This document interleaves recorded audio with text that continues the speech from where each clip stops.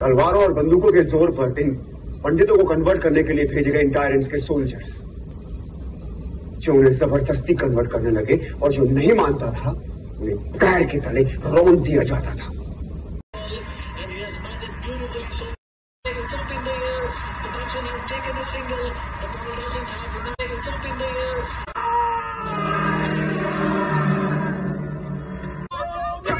मेरी नहीं मारेंगे बट्टे। कोई रोने वाला भी तो बचना चाहिए।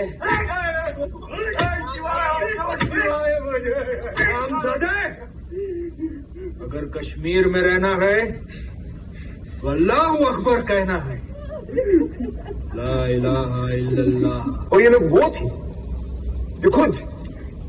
परसिक्यूट होकर कश्मीर आए थे और कश्मीरियों ने इन्हें पनाह दी थी? ए, what kind of rubbish is this?